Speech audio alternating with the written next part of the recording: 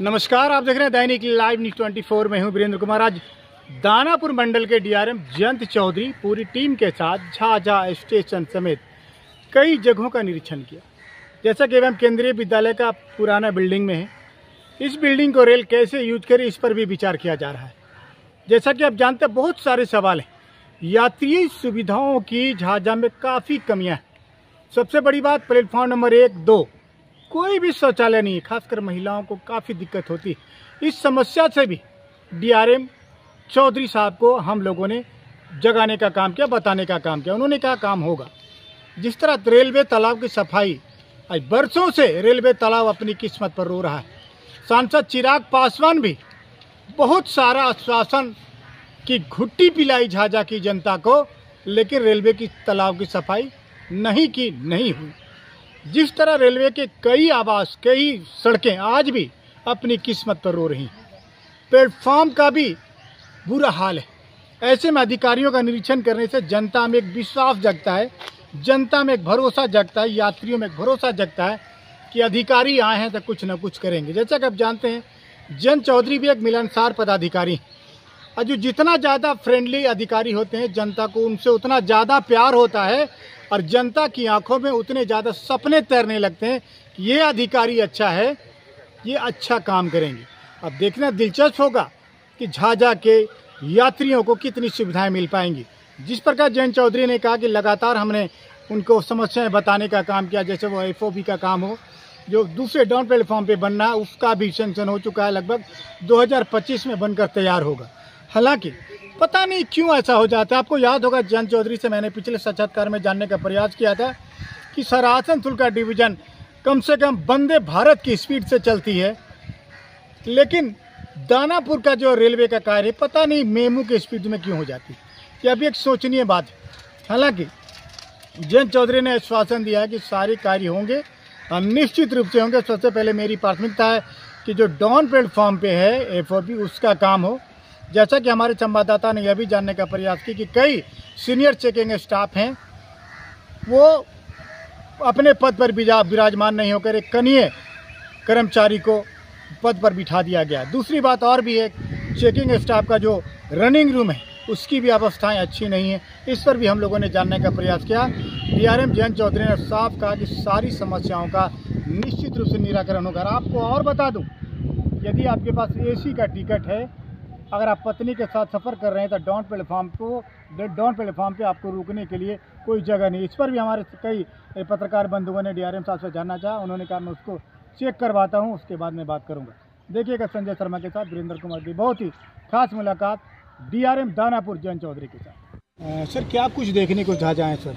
ये नहीं, केवल झाझा देखने नहीं आए थे, पूरा दानापुर से लेकर के झाझा तक का पूरा जो सेक्शन है, उसको इंस्पेक्ट करना था। बीच बीच में जो हमारे अमृत भारत स्टेशन के कार्य चल रहे हैं कुछ कुछ निर्णय होने बाकी थे, वो साइट की कंस्टेंट देखी गई और झाझा में मेमू शेड देखना है। ये स्कूल का कैंपस खाली हुआ है, इसको कैसे हम इस्तेमाल कर सकते हैं, उस चीज़ को देखनी थी सर यात्री सुविधाओं में भी कुछ बढ़ोतरी होगी क्या? बिल्कुल बढ़ोतरी होगी। जैसे आपने पिछली बार सजेशन दिया था कि उस एफ़ का एक्सटेंशन जो पहले वाले प्लेटफॉर्म पे नहीं है उसके लिए हम लोगों ने क्रम प्रस्तावित किया हुआ है। तो इस साल का अभी जो फंड है अम्ब्रेला का वो आएगा जैसे ही वैसे स्वीकृत करा करके हम लोग कोशिश करेंगे कि मार्च 2025 तक वो कार्य पूर्ण हो जाए जो एफ़ का दूसरे प्लेटफॉर्म तक एक्सटेंशन है। तो ऐसा बोला जा रहा है सर यहाँ ट्रेनिंग स्कूल आपका मेमू शेड का ट्रेनिंग स्कूल यहाँ आने वाला है अभी सभी संभावनाओं पर विचार करेंगे कि क्या कैसे बेस्ट तरीके से कैंपस को हम लोग इस्तेमाल कर सकते मेमू शेड में कुछ विस्तार मेमू शेड का कुछ होना है क्या? मेमू शेड में कुछ मेमू शेड का कोई विस्तार होना है? एडिशनल फैसिलिटीज़ क्रिएट होंगे सर उसमें। ऐसी नहीं जो होनी थी सर। वॉशिंग प्लांट वगैरह आ रहा है तो आधुनिक सुविधाएँ मिलेगी वहाँ पर अभी जितनी मतलब मेंटेनेंस हमें अलॉटेड है जितनी रिक्स के लिए उसके हिसाब से हमारे पास सुविधाएँ हैं लेकिन अगर रिक्स को और बढ़ाने की ज़रूरत पड़ती है तो उस हिसाब से उस इंफ्रास्ट्रक्चर में और सुधार किया जाए। यात्री सुविधाओं के लिए सर प्लेटफॉर्म नंबर एक दो पे एक भी शौचालय नहीं है सर महिलाओं को काफ़ी दिक्कत होती है।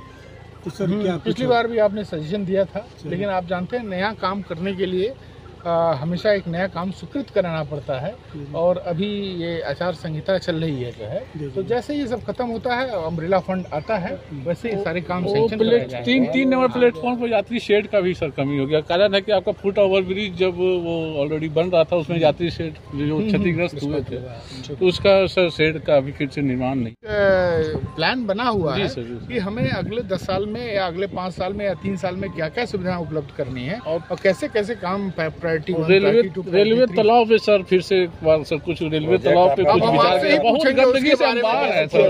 बगल से गुजरना बड़ा मुश्किल हो गया है आपका रेलवे तालाब। सर आउटसोर्सिंग स्टाफ का पेमेंट जो है वो दलालों के माध्यम से मिल रहा है। उन लोग का पेमेंट अठारह हज़ार रुपया है और सात हज़ार उनको पेमेंट हो रहा है। उन लोग का कहना है कि बैंक से अगर हम लोग का नाम जोड़ दिया जाए खाता जोड़ दिया जाए तो हम लोग का पेमेंट सही होगी। हम इसको एग्जामिन करा लेते हैं कि हमारे कॉन्ट्रैक्ट के फ्रेमवर्क में वो कैसे किया जा सकता है कि अभी जो हमने कॉन्ट्रैक्ट तो एजेंसी को किया है एजेंसी को उसको मिनिमम बेस कम से कम देना है या जो भी वेज बैंक बैंक पेमेंट ही। देना है बैंक पेमेंट उनको ले रहा है रेलवे हाई स्कूल में सर ट्रेनिंग सेंटर के लिए सर पहले से ट्रेनिंग सेंटर तो वो रेलवे हाई स्कूल सर आप लोगों ने सर उसको चयन कर लिया था। हाँ हाँ। तो क्या वो ट्रेनिंग सेंटर रहेगा? वो देखिए रेलवे बहुत बड़ा महकमा है बहुत सारे लोग हैं तो ट्रेनिंग की रिक्वायरमेंट तो बहुत सारे स्टाफ को होती है। वो। पर्टिकुलर ट्रेनिंग के लिए थी यहाँ पे और बड़ी ट्रेनिंग का स्तर हो सकता है।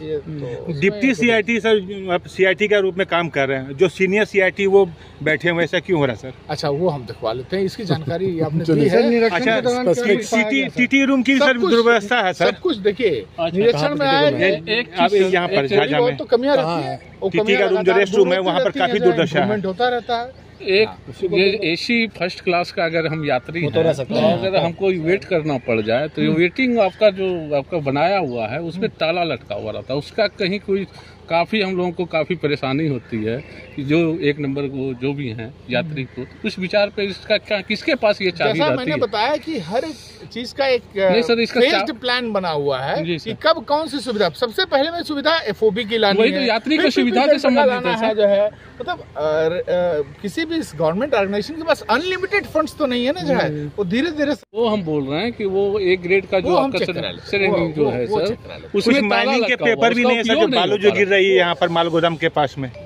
कहा जा रहा है कि उनके पेपर नहीं है माइनिंग के। बिना माइनिंग के पेपर के थोड़ी यहाँ से लोड ऐसा ही सुना जा रहा है। वो संभव नहीं लोड- लोड नहीं कर तो सकता बुक नहीं हो सकता है वो। ठीक है thank you thank you so much में एक आरसीसी एफओबी वितरण था। अच्छा अच्छा का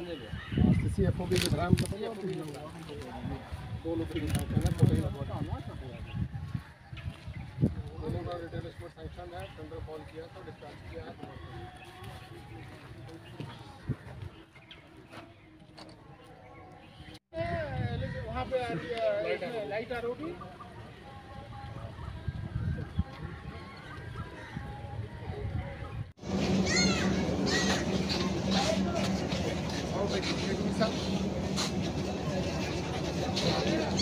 पहले तो हम लोग रनिंग रूम जाएँगे।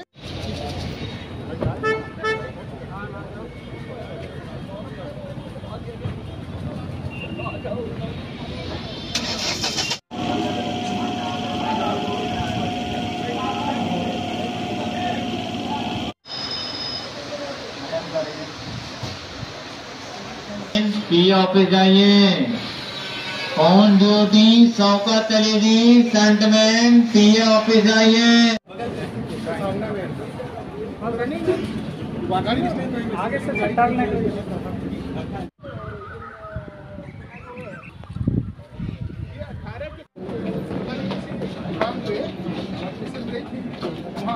होल्डिंग किया होगा